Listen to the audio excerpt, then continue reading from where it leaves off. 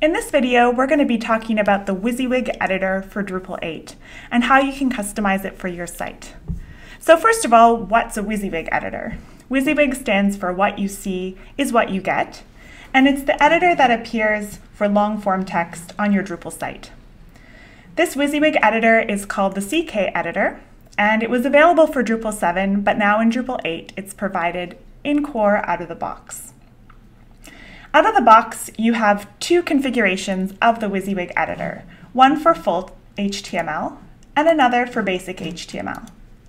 We can see that basic HTML is simpler, it has fewer buttons, and it doesn't allow you to add any type of HTML. There's certain HTML tags that will be stripped out. So you might decide that you want to change the configuration for these two editors. So how can you do that? So we can head over in our site to the configuration section under configuration, content authoring, text formats, and editors. So I'm going to open that up in a new tab and we'll take a look together. So first of all, I notice that basic HTML appears at the top. Basic HTML is a text format and it's the default text format because it appears at the top of the list. Full HTML is third in place and I can configure that as well. Restricted HTML, uh, which will which will strip out additional HTML elements. This doesn't have an editor associated with it, so if I pick restricted HTML, I don't get a WYSIWYG editor at all. And then finally, there's the plain text format, which doesn't allow HTML at all. So let's start off just by looking at the basic HTML configuration. So I'm going to click Configure over on the right. One thing you'll notice right away about the basic HTML text format is that there are a limited list of HTML tags that you can actually use. So basic HTML means that you don't have access to all the HTML tags. Instead, you have a list of a white list of HTML tags that are allowed, and anything else would be excluded. So this is going to exclude things like iframes and script tags, and it, it'll mean that you can't embed things like videos into the content. So up at the top in the toolbar configuration, we can add additional buttons to the editor. And I'll just suggest a couple things that you might want to add. First of all, I like to add the paste from Word option. This provides some cleanup of content pasted from external documents. So we can drag that in to one of the groups. Another one that I like to use is this maximize button, which allows editors to maximize the text area to take up the full screen. And that's really useful for long form content because it just makes it easier to see all the text that's included in the field. So I'm going to make these little updates I'm going to scroll down to the bottom and I'm going to save the configuration. Now if I go back to this page and I refresh and I select basic HTML, I'm going to see those extra buttons added in.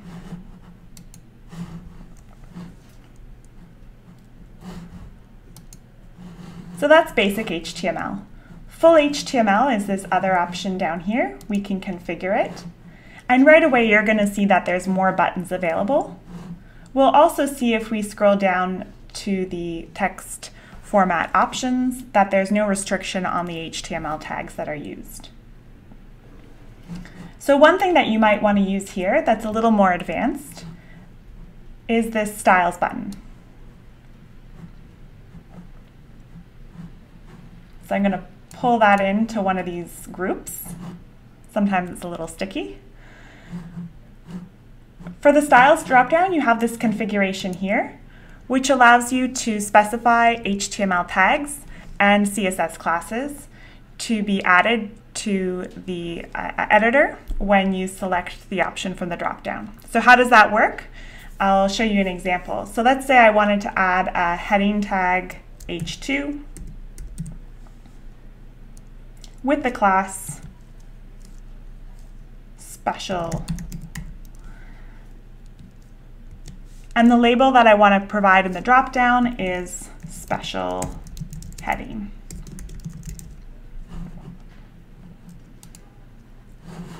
So I can save that configuration. And now if I go back to my article and I'm editing with full HTML, in the styles dropdown, I'm going to be able to select special heading.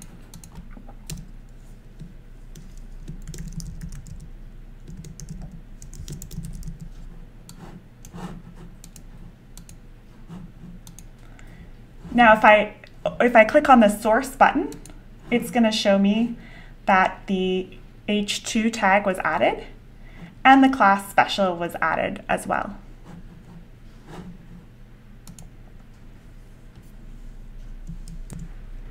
So you can see that making updates to the WYSIWYG editors on your site, the basic HTML and the full HTML options, it's really easy.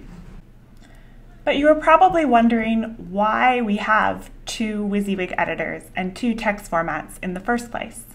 Why do we need to have basic HTML and full HTML? Well, the reason is because we have different types of users on our Drupal site. You might have different roles, with some being able to have access to full HTML and some who you want to restrict access so they can only use basic HTML. So to see how that plays out, we'll just take a quick look at the permissions for Drupal. So under People Permissions, I'm going to open up this in a new tab. And if I scroll down to the filter section of this page, I can see that there's permissions for using basic, full, and restricted HTML formats. So currently, Authenticated users have permission to use basic HTML, but not full HTML. So going back to our text formats and editors, when you're creating content in Drupal, the default editor that's used is going to be basic HTML. That's what's at the top of the list here. If I want to make full HTML the default, I'll have to pull this up to the top of the list. The thing to keep in mind is that whatever the default is here, that's probably what's going to get used for most of your content. Most people writing content on your site aren't going to think to change this setting. That means that if most of the editors on your site have access to full HTML, and full HTML is the default, that's going to work well. Most of your content is going to have that text format, and it's going to be uh, accessible by most of the people editing content. You're going to run into issues if some of your editors only have permission to use basic HTML because they won't be able to edit content if full HTML has been selected as the text format. So that's just something to be careful of. If you think that you're going to have editors who only have permission to use basic HTML, you'll probably want to keep that as the default so that they'll be able to edit more content on the site.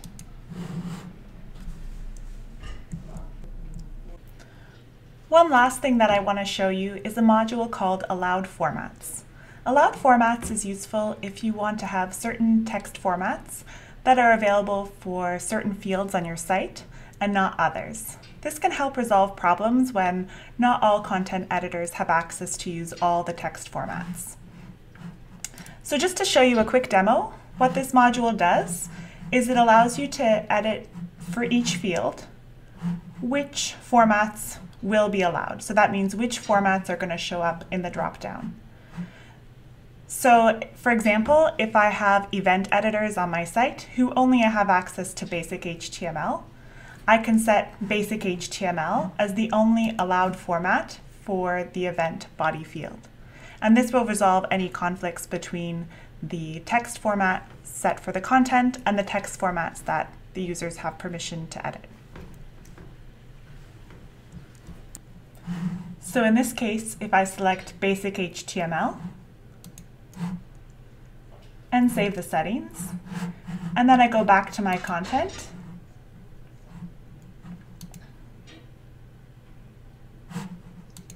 I'll see that now basic HTML is the only option available.